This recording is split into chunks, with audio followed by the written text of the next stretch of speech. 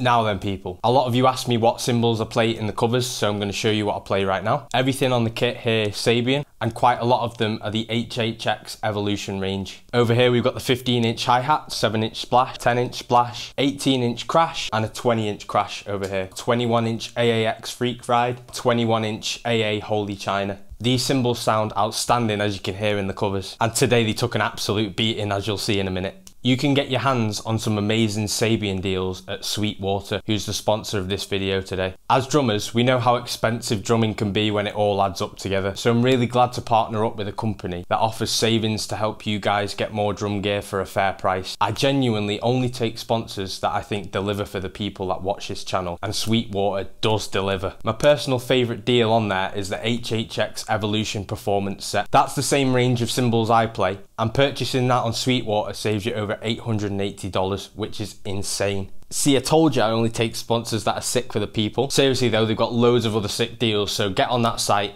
click the link in the description and go and check them out for yourself.